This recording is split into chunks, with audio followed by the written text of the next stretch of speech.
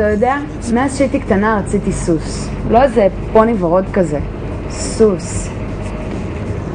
נסענו פעם אני וההורים לאיזה טיול בצפון. אנחנו מסתובבים לנו בטבע, החלוצים מרחוב דיזינגוף. משפחה מאושרת, עלק. כמעט אין ויכוחים מאחוריי. קיצור, אני מחפשת לי איזה מקום ל... אתה יודע. וזה לא שהם ישימו לב שנעלמתי להם לאיזה כמה דקות.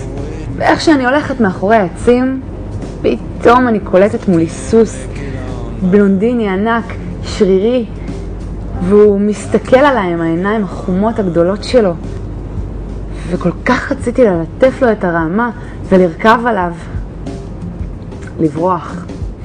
מההורים, הצעקות, מהמשפט המזדיין הזה על הקיר, בפעם האחרונה שראיתי את אחי.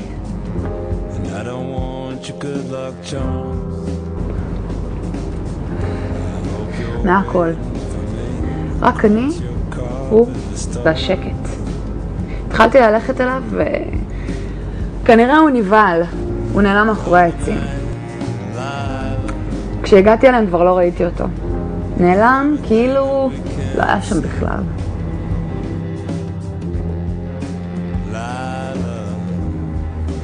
כל הנסיעה לא הוצאתי מילה.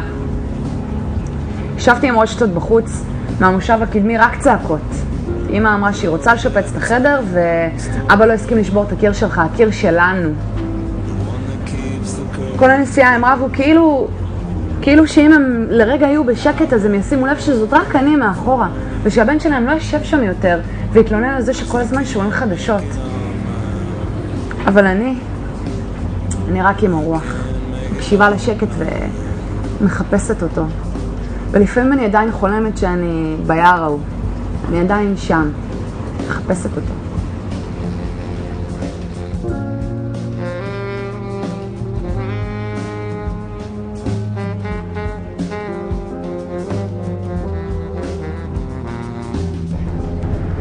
זה מה שאני הכי אוהבת אצלך, שאתה מקשיב. שאתה מקשיב ושאתה זיון טוב. אתה יודע, זה לא תכונות נפוצות. אם לא היית מנסה, אתה יודע, אז אולי היינו מתחתנים.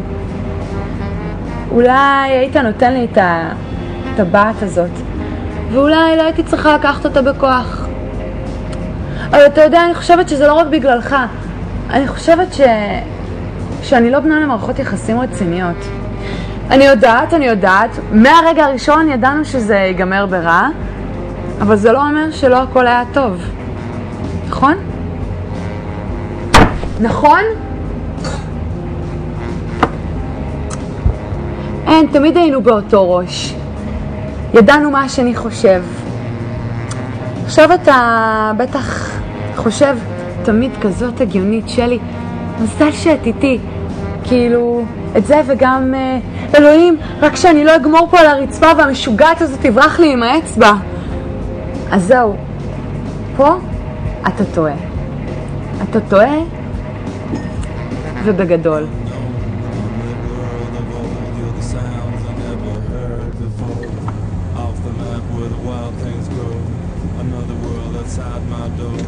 תזכור, שיניים לתוך חלב ואצבעות לתוך קרח. מצב שהאצבע עוד uh, תחזור אליך. אני לא.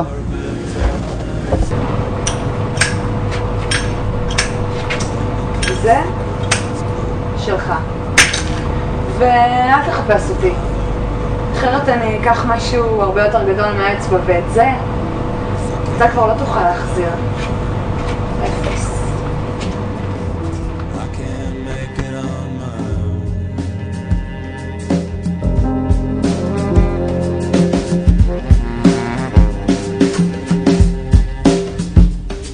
You're the pink can falling off the wall with the door that's locked.